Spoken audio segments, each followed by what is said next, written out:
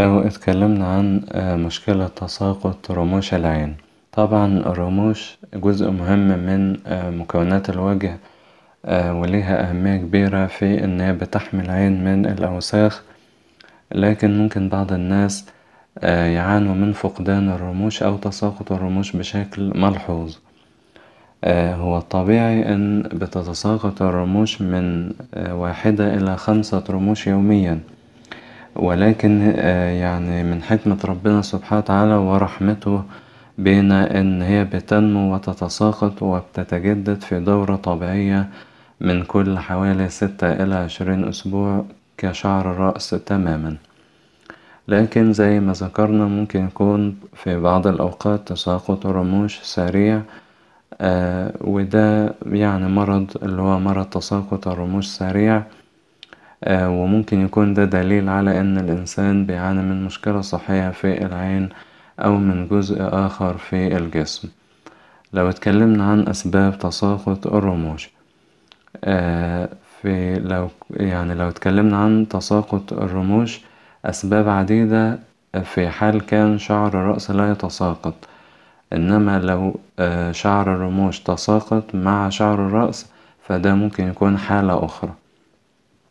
من أشهر الأسباب اللي ممكن تؤدي إلى تساقط رموش العين أولا الاستعمال الخاطئ لمستحضرات التجميل وأدوات التجميل وده خاص طبعا بالنساء.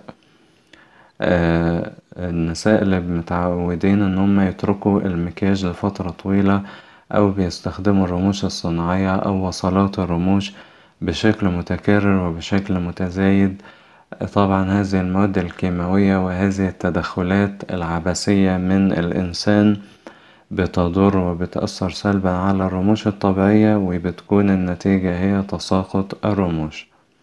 السبب الثاني بالنسبة لمرضى السرطان. ممكن يكون السبب هو العلاج الكيماوي والعلاج الكيماوي طبعا من بروتوكولات المتبعة في علاج الأورام السرطانية. طريقة عمل طبعا علاج السرطان بتأثر بشكل كبير أو عام على جميع الخلايا الموجودة في جسم الإنسان منها خلايا بصيلات الشعر وده ممكن يؤدي إلى تساقط الرموش. ولكن طبعا بنبشر أصحاب هذه الابتلاءات إن بعد إيقاف العلاج الكيماوي بعد يعني تمام الجرعة وتمام التحسن وبعد ما بيقرر الأطباء إيقاف العلاج بتعود الرموش للنمو مرة أخرى من جديد. السبب الثالث قد يكون هو التعرض للحروق وبالنسبة للحروق في حالتين من الحروق. في حالة إصابة الجفن بحرق بيتم في حرق الرموش دون تأثير لبصيلات الشعر وفي الحالة دي بتعود الرموش للنمو مرة أخرى في خلال يعني بضعة أسابيع. الحالة التانية إذا الحرق أو الضرر وصل إلى بصيلة الشعر وأدى إلى تضررها في الحالة دي ممكن لا تعود الرموش للنمو مرة أخرى.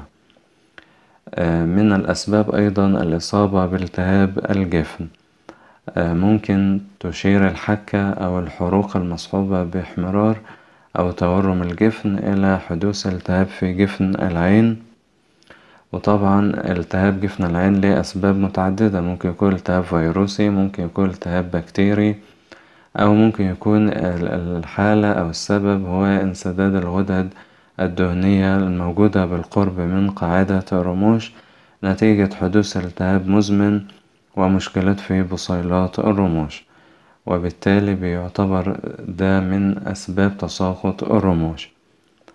من الأسباب أيضا القيام بنتف الشعر. في بعض الأشخاص عندهم حالة نفسية بيقوموا هم يعني قاعدين دايما بنتف الشعر بصورة لا شعورية باستمرار وده بيؤدي إلى ترك فراغات كبيرة في فروة الرأس.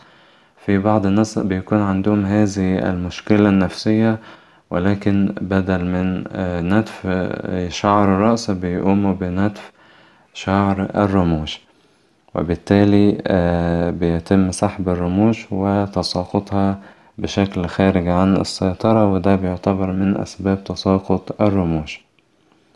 من الأسباب أيضا الإصابة بسرطان الجلد. ممكن يكون تساقط الرموش الموضعي أحد أعراض سرطان الجلد على الجفن وطبعا ممكن يعيق السرطان نمو الرموش وده يؤدي إلى تساقط الرموش وعدم نموها مجددا. أيضا من الأسباب وجود مشكلات في الغدة الدرقية. في حال الإصابة باضطرابات هرمونية أو بخلل هرموني بيتعلق هذا الخلل بالغدة الدرقية سواء كان فرط نشاط الغدة الدرقية أو حتى خمول الغدة الدرقية فده ممكن يأثر على نمو الشعر والرموش ويؤدي في النهاية إلى تساقط الرموش.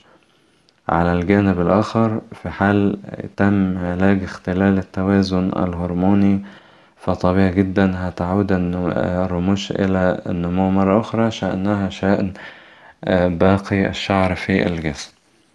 من الأسباب أيضا الإصابة بداء الثعلبة. معروف داء الثعلبة هو مرض من الأمراض المناعية الذاتية المرتبطة بالجلد بيقوم فيها الجهاز المناعي في جسم الإنسان بيصيبه خلل أو اضطراب معين وبالتالي بيقوم الجهاز المناعي بمهاجمة بصيلات الشعر وبيتضمن ذلك بصيلات الرموش وده بيؤدي إلى تساقط الرموش. طبعا لا يوجد علاج لداء الثعلبة لأنه مرض مناعي وإنما يعني معظم العلاجات المتاحة أو اللي بيتم طرحها الهدف منها هي السيطرة على أعراض المرض والتقليل من أعراض المرض أو من المعاناة اللي بيعاني منها المريض.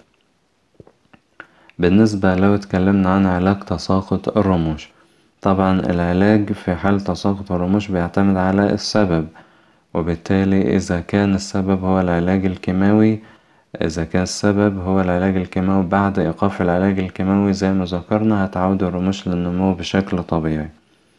إذا كان السبب هو مشاكل صحية زي خلل في التوازن الهرموني أو مرض مناعي ذاتي فعلاج الحالة الصحية الرئيسية ده بيجعل الرموش تنمو مرة أخرى دون أي مشكلات. في طبعا بعض الأدوية زي موجود على شكل قطرات ممكن يصفها الطبيب ولكن ده بيتم في حالات محددة ويجب أن يتم ذلك تحت إشراف الطبيب لأن الدواء بيختلف من حالة لحالة واستجابة الأشخاص بتتفاوت ما بين شخص إلى آخر. لو اتكلمنا عن الوقاية من تساقط الرموش في بعض النصائح مهم جدا بنوجهها لبعض الناس بتفيد هذه النصائح في التقليل من هذه المشكلة والتقليل من تساقط الرموش.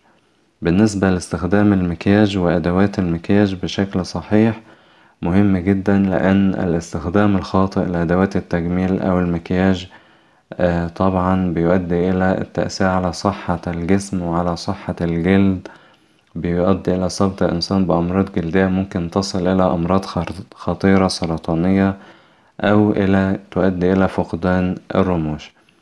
أيضا الحمية الغذائية الصحية مهمة فإذا كان سبب تساقط الرموش هو التغذية نقص عناصر غذائية معينة فبالتالي إضافة هذه العناصر إلى الوجبات الغذائية مهمة جدا بتساعد في تعويض تساقط الرموش وبتساعد في علاج هذه المشكلة وبتقوي الشعر وبتحفز نمو الشعر مرة أخرى.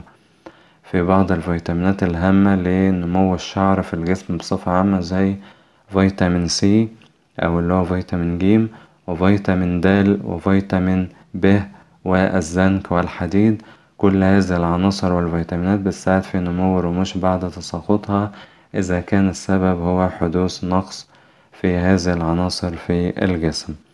ده كان أهم المعلومات حول مشكلة تساقط الرموش أسباب هذه المشكلة. وكيفية علاجها والوقاية منها. في النهاية بنتمنى السلامة للجميع ونلتقي بإذن الله على خير في فيديو جديد وموضوع جديد.